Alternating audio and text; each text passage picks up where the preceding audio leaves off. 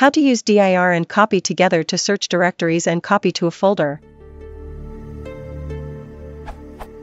I need to search a specified folder and its subdirectories for files, then copy them to a specified folder somewhere else. Is it possible to use dir and copy with a pipe?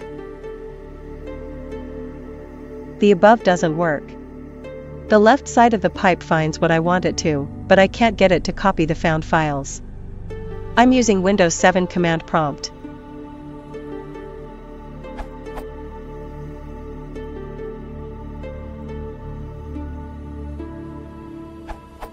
You could just use xcopy. This will hold the directory structure. If you don't want the directory structure you can do the following.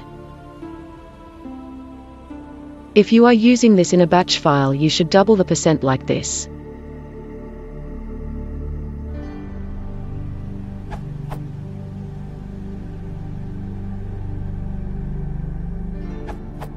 With PowerShell you can run this. Part command exe part PowerShell.